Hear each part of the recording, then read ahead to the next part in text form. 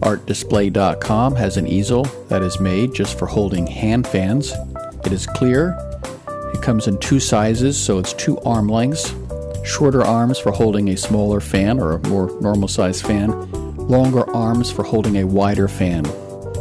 Basically, to use this, you adjust the arms, you position them where you want, and you gently tighten the screws to hold in position.